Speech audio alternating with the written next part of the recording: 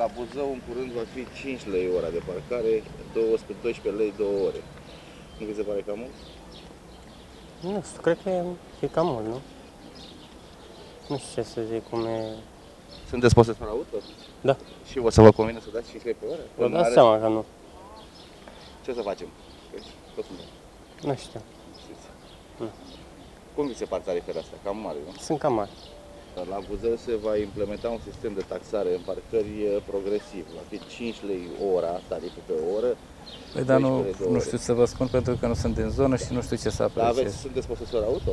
Nu, Nu sunteți Nu, posesor. nu, Cum vi se par tarifele astea totuși? 5 lei e cam mult. E cam mult. E cam mult. Nu are Mult, tariful ăsta nou. e enorm. E enorm. Sunteți posesor auto? Sigur că da. Și o să vă convine să plătiți acum? Nu. Probabil că am să încerc să-mi las mașina acasă să merg Merge mai mult pe jos. fără. Cum vi se par tarifele astea? O oră cât? 5 lei.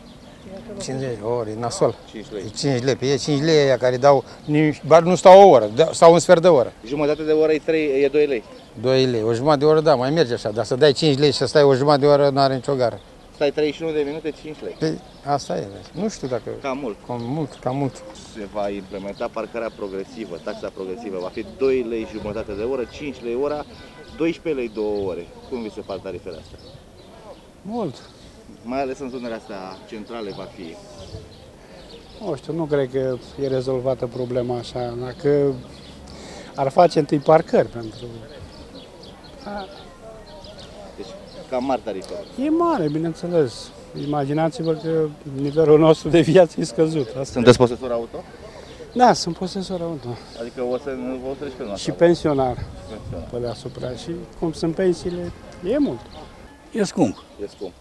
Vă veți permite, ne, ne mai permitem să mai scoatem mașina din parcare, deci de la bloc să Cine poate și are bani, o scoate. Cine nu, o mergem lasă. pe jos? Păi da. Cum vi se par? Noile tarife. Domnule, dacă sunt aranjate corect și frumos, să merită. Nu v-ar deranja atât de... Nu, pe mine nu. Dacă ar fi aranjate și am- amenajate cum trebuie, da. Loc, fiecare cu locul lui, fără să, să fie și distanță între ele, între parcări normale, nu când deschid ușa să lovească una de alta, exact ca în Europa.